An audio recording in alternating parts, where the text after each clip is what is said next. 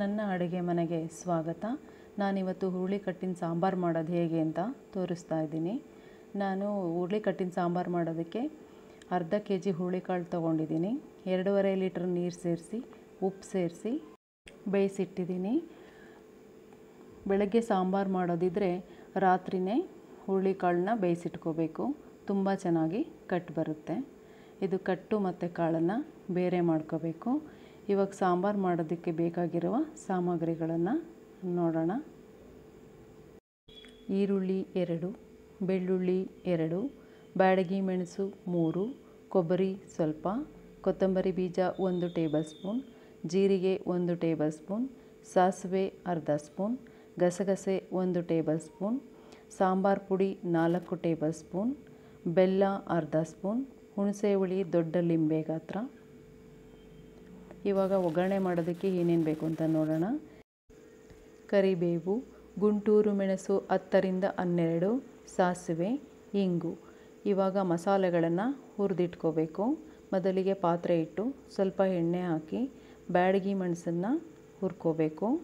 ಅದು ಫ್ರೈ ಆದ ನಂತರ ಕೊತ್ತಂಬರಿ ಬೀಜ, ಸಾಸಿವೆ, ಗಸಗಸೆ ಸೇರಿಸೋಣ. ಸ್ವಲ್ಪ ಫ್ರೈ ಮಾಡ್ಕೋಬೇಕು. ಇದು ಫ್ರೈ ಆದ ನಂತರ ಬೆಳ್ಳುಳ್ಳಿ ಸೇರಿಸೋಣ. ಬೆಳ್ಳುಳ್ಳಿ ಸೇರಿಸಿ ಸ್ವಲ್ಪ ಫ್ರೈ ಮಾಡ್ಕೋಬೇಕು.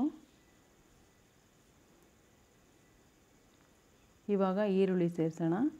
ಈರುಳ್ಳಿ ಸೇರಿಸಿ ಚೆನ್ನಾಗಿ ಎಲ್ಲವನ್ನು ಫ್ರೈ ಮಾಡ್ಕೊಳ್ಳೋಣ. ಇದೆಲ್ಲ ಇವಾಗ ಚೆನ್ನಾಗಿ ಫ್ರೈ ಆಗಿದೆ. ಇವಾಗ ಇದಕ್ಕೆ ಎರಡು ಸೌಟು ಹುರುಳಿಕಾಳು ಸೇರಿಸೋಣ.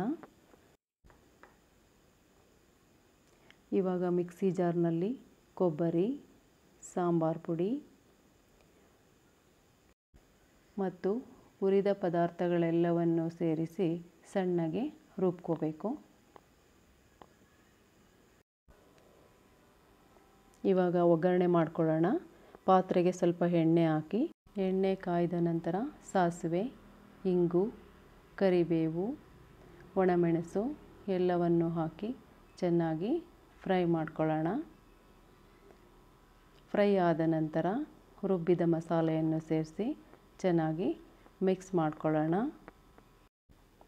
ಇವಾಗ ಬೆಲ್ಲ, ಹುಣಸೆ ಹುಳಿ ಸೇರಿಸೋಣ. ಚೆನ್ನಾಗಿ ಮಿಕ್ಸ್ ಮಾಡ್ಕೊಳ್ಳೋಣ.